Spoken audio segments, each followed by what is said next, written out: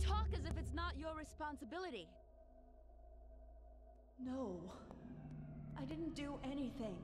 They died because you had to pilot the gear and start fighting.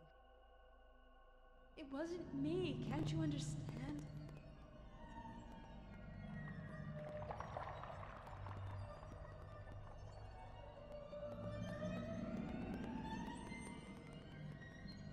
Not just anyone can pilot those machines, you know. I didn't do it. Why won't you take responsibility? I'm not so strong. Why are you trying to put the blame on others? I'm not even all that talented. You're a coward! That's right. I'm a coward.